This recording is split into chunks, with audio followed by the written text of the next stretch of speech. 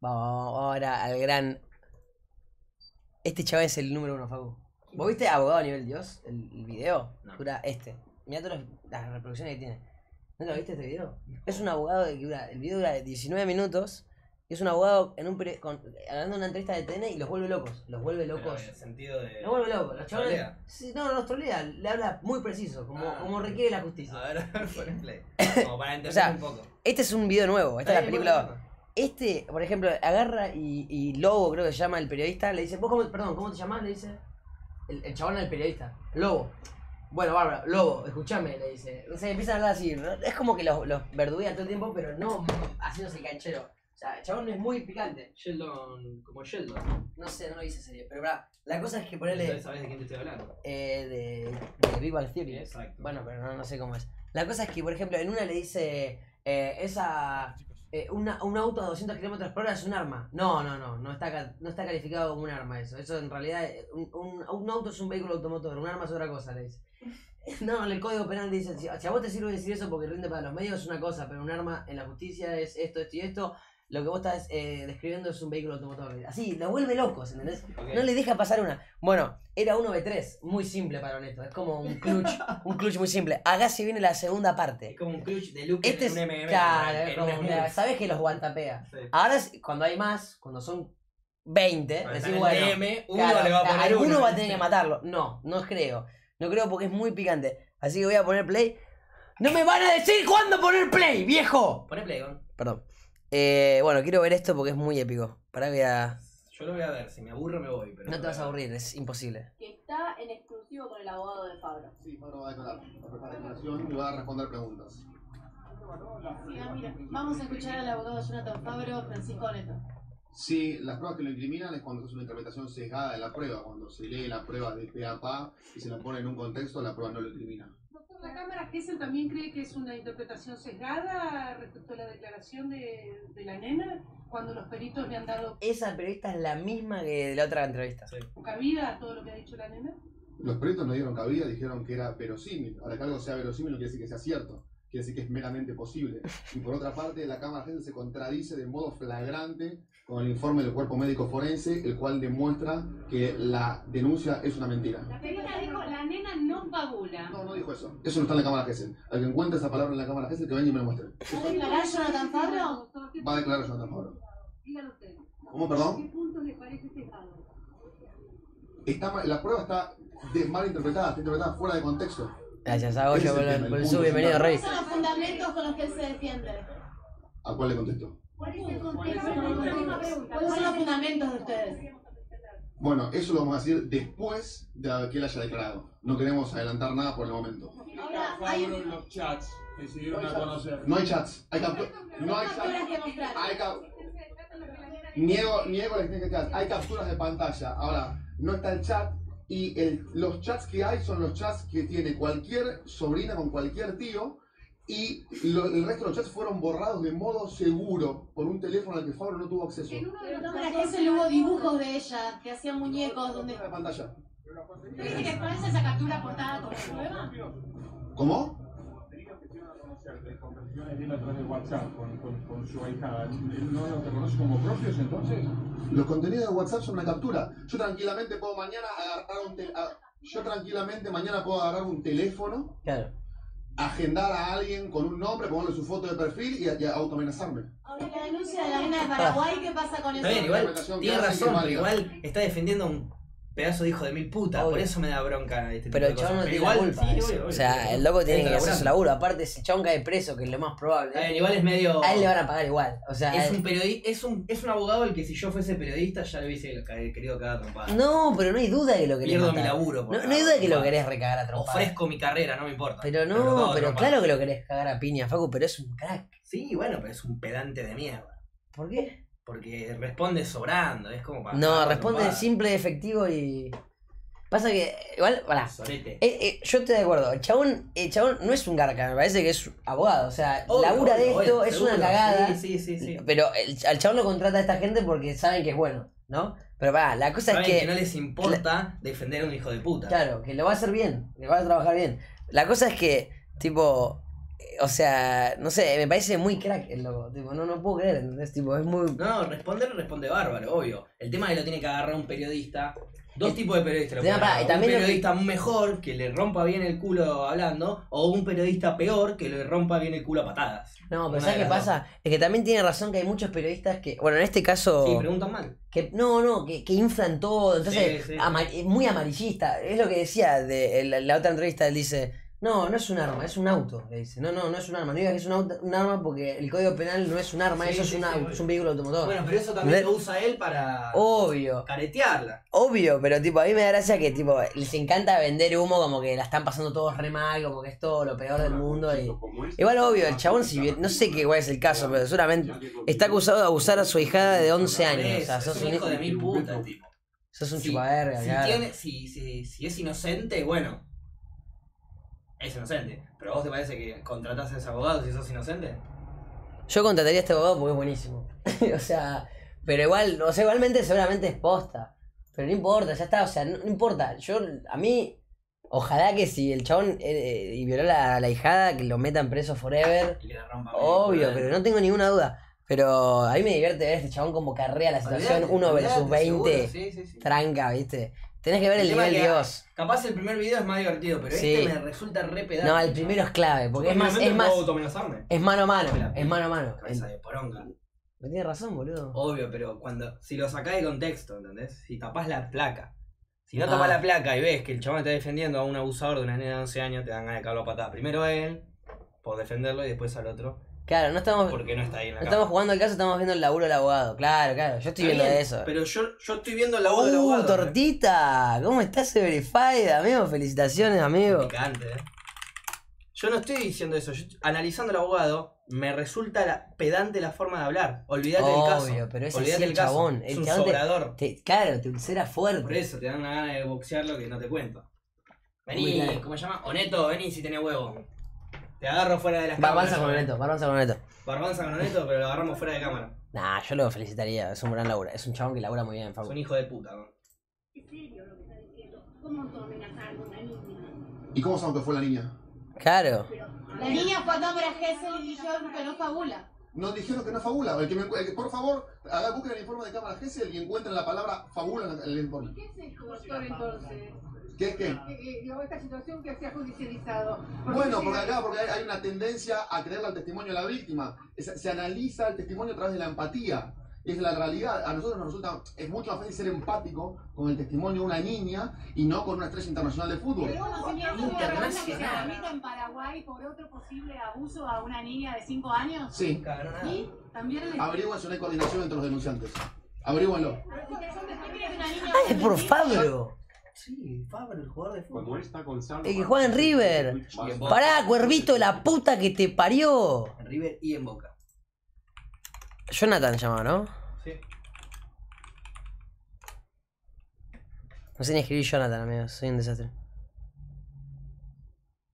Este, este chabón. No lo puedo creer.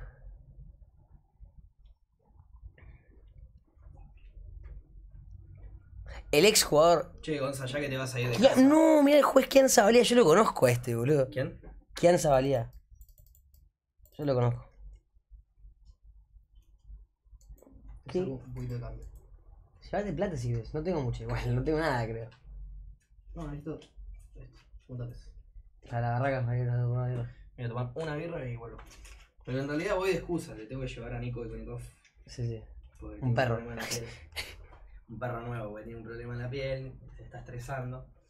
A ver. Yo les digo, yo les digo, yo hay una ¿Cuál es conspiración. el, argumento con el que se defiende? Es una nena que está diciendo que fue abusada. Sí, ¿y los chicos mienten? No, no pues, pues, no dice que no.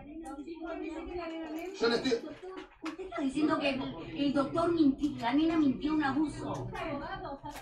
no, soy abogado, soy abogado, pero no soy parapsicólogo. Usted dice que los peritos le dieron Si Espera. no se miente la cámara Gesell. La cámara, la cámara Gesell, hay un tema con la cámara Gesell. A la cámara Gesell se le da una certeza apodíctica. Lo cierto es que, según lo dice la guía para el tratamiento de niños víctimas de abuso del UNICEF, la cámara Gesell es una declaración testimonial cuidada. O sea, lo que se hace es cuidar que la medida no afecte más a la menor de lo que ya. Perdón, chicos, voy a cambiar el, el audio. Un segundo. Así lo escuchamos mejor todos. podría llegar a estarlo. Eh, lo cierto es que ver. es testimonial y después tenés que hacer pericias sobre esa testimonial. ¿Los Pero- dibujos que hizo la nena? Los dibujos que hizo la nena, hay, hay uno, hay uno que resulta cuanto menos llamativo. Eh, tiene que ver con el primero, como primera medida, hay una cosa que hay que aclarar. Son test que la psicología conoce como proyectivos. Los test proyectivos son test completamente interpretables. Eh, cada cual lo puede tratar para donde quiera. Pero Es muy picante este loco, man. Subo un poco más. lado. Pero por el otro, eh, cuando a la nena le toman el test del HTP, la persona, el- la casa y el árbol, dibuja una persona solamente con, con cabeza, no dibuja el cuerpo, dibuja una cabeza. Y cuando uno va a leer la interpretación del HTP, las personas, los test que dicen, que, perdón, cuando se dibuja una, solamente una cabeza, sale una persona con mucha imaginación. Con lo cual eso es lo único que le puedo decir el test. No soy psicólogo, hasta ahí puedo hablar. Usted dice que la nena Es muy picante este loco. La nena miente. Sí. Ahora, ¿cuál es la terrible lo que va a pasar? Bueno, ¿por qué mentiría? No lo sabemos. Hay mucha gente que miente. ¿Cómo, ¿Qué va a perdón? pasar hoy con la declaración de su defendido? Usted le sugiere que hable, que, que diga qué cosa. ¿Mm? ¿Que diga qué cosa, perdón? Usted le está sugiriendo a su cliente que hoy hable. ¿Tiene Sí. un descargo para hacer? Sí, pero lo va a hacer él, que no lo puedo hacer ahora. Claro, boludo. No, no, no. A las 10 de la mañana va a declarar, después eventualmente hablaremos de lo que La verdad es que son amarillistas fuertes. La nena miente, ponen ahí. puede saber una niña de 5 años de acceso carnal? Tiene 11. Ahora No, pero en el 11. momento fueron momento de tenía cinco años. cinco. ¿Qué puede saber una niña de 5 años de, de acceso carnal como para que usted diga que miente? Le reformulo la pregunta. ¿Qué puede saber una persona con acceso irrestricto a Internet con acceso carnal? Mucho. Ahora usted ¿Algún tema familiar que haya dis- disparado esto? ¿Cómo, perdón? ¿Puede haber algún tema familiar que haya disparado esto? Eso- esa pregunta deberían ser hacer a la familia que van a, van a llegar. Pregúntenselo a doctor, ellos. Doctor, estamos hablando de dos niñas que son Es muy picante, man. familias. Estamos hablando casi de una conspiración. Porque una es familiar por el lado de la novia y por el otro es familiar por el lado de él. Yo lo que dije fue que averigüen si no hay una coordinación, nada más. Averígüenlo. Usted lo sospecha. Yo digo que lo averigüen. Está sugiriendo, ¿Y cuál sería el objetivo? ¿Por qué? ¿Por qué habría una conspiración? Bueno, pero lo que pasa es que es muy, si yo supiera lo que la gente piensa sería millonario. O sea, Es un hijo de puta. Es un chupaverga, boludo. Es un asqueroso chupapija, boludo. No puede ser lo que le dice, man. Es un uno, boludo. O sea, este, esta oportunidad me parece un poco violento todo, ¿no? Tipo, es no. muy difícil saber Perdón, eh, no me parece. Este, este, esta oportunidad me parece tan. como tan cómico como el otro video. O sea, si bien hay- la gravedad de. La gravedad de esto es mucho, mucho más picante que. Que obviamente una picada. Si una picada es como muy picante porque pueden matar a alguien y, y podés dañar mucha gente y hay un montón de factores que todos sabemos que, que implican correr una picada. Esto me parece mucho más violento porque es, un, es una causa mucho más fuerte, porque estamos hablando de una, un abuso sexual a una menor, es como muy fuerte. Es muy fuerte. Y este, este tema es como muy picante como para salir a declarar así, haciéndose el picante, tipo, me parece. O sea, no hay duda que el chabón es un enfermo. Hola, hola Seba, ¿cómo estás? Eh, me parece mu- muy, claro, más delicado, es muy delicado este tema. Y como que hay cosas que no sé, tipo, son muy fuertes de decir. Pero el chabón se nota que no le importa media, boludo. Está re loco, tipo, no le importa nada, weón. Poné de nuevo esa parte, dale, dale, vamos a ver, no. Está sugiriendo, ¿Y cuál claramente. sería el objetivo? ¿Por qué? ¿Por qué habría una conspiración? Bueno, pero lo que pasa es que es muy, si yo supiera lo que la gente piensa sería millonario. Claro. Es muy difícil saber lo que la gente piensa porque hace algo más cuando uno no lo haría. O sea, eso es una cosa muy grave, venir y denunciar. Aparte hay un tema acá, que acá tenemos que estar todos contentos porque se denunció que una nena fue violada y se descubrió que la nena no fue violada. Entonces, festejemos. No estemos diciendo, uy, qué pena, no fue violada. ¡Claro! No, es muy picante, boludo. Es muy picante, men. Es muy picante. Esta parte es muy buena, man. Esta parte es muy buena. La nena fue violada. Aparte hay un tema acá, que acá tenemos que estar todos contentos porque se denunció que una nena fue violada y se descubrió que la nena no fue violada. Entonces, festejemos. No estemos diciendo, uy, Vivo, Fabro hasta las manos. What? qué pena, no fue violada. ¿Por qué asegura que no fue violada? ¿Perdón? ¿Por qué asegura que no fue violada? Porque el informe del cuerpo médico forense que consta a Les tiró en directa que ellos festejan a la nena fuera. No, les tira, la- la- les tira el palo como diciendo: Ustedes quieren que sea violada como para vender el morbo, ¿entendés? Ustedes necesitan del morbo de que fue violada para venderlo. Festejémoslo, aprovechemos que no fue violada y que bueno, ¿entendés? Ese sería el final feliz. Que el chabón sea. Que el chabón sea eh, absuelto, sobreseído porque no fue violada. sería el mejor escenario, porque la nena no fue violada, ¿entendés? Y los locos eh, le deja, le dejan en evidencia como a ustedes les garpa la- la- el morbo, ¿entendés? Es un crack, boludo. 98 de la causa dice que no fue violada. Usted habla de penetración Pero hay, hay tipos de se abusos denuncia, tiene que ver con... Bueno, lo que pasa, lo que pasa, eso, es, esa pregunta es una pregunta muy buena y muy puntual, eh, que la voy a contestar a la brevedad, porque tenemos que hacer la presentación de la justicia. Pero es una pregunta muy buena y que es, es lógico que genere dudas, pero la vamos a contestar. este. Pero, perdón, el sistema- el si- No es confiable. Sí, claro. Está poniendo en dudas todo lo que sucedió. tenemos una ley de protección de niñez, está diciendo que todos los instrumentos que existen en la justicia al día de Sí, amigos, esperen, tengo que, me hicieron acordar. Ahora cuando termine el video, cambio el tema de los anuncios, que me parece que se me bugueó el bot, porque está tirando muchos anuncios. Ahora lo cambio, no se preocupen. hoy son dudosos. Yo creo que la justicia es el poder más cuestionado de la nación en este momento. Venir a, a decir que cuando la justicia hace lo que nos gusta es buena y cuando hace lo que no nos gusta es mala, es cuanto menos una petición de principios. ¿Va a seguir, va a seguir detenido su defendido? Eh, lo cierto es lo siguiente, hoy se lo va a indagar, el juez tiene 10 días para resolver la situación procesal de él. Nosotros vamos a hacer una presentación de escarcelación el lunes probablemente porque no vamos a llegar, más allá de que él la va a pedir in boche. Eh, pero la lógica y la justicia que tenemos, que acá los colegas tanto alaban, sus colegas, no los míos, eh, diría que en principio sí va a ser detenido. Ya? No, ahora estoy pidiendo que me lo suban a ver si puedo tener una entrevista con él antes de que quede claro. Muchas gracias. gracias. ¿Perdón? incomunicado, digo el resto? ¿Incomunicado él? ¿Incomunicado es la pregunta? No, no, no está comunicado. Gracias.